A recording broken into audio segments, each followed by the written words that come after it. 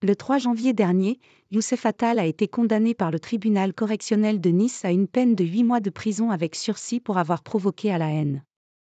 Le conflit entre Israël et le Hamas coûte cher à Youssef Attal, condamné à 8 mois de prison avec sursis et à 45 000 euros d'amende après avoir relayé des propos appelant à un jour noir pour le peuple juif sur les réseaux sociaux.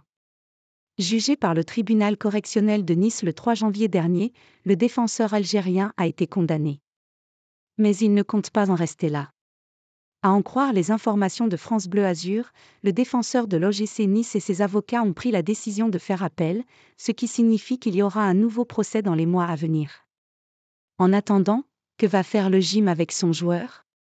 Actuellement à la CAN avec l'Algérie, il pourrait rejouer avec Nice à son retour puisqu'il a purgé les sept matchs de suspension infligés par la LFP.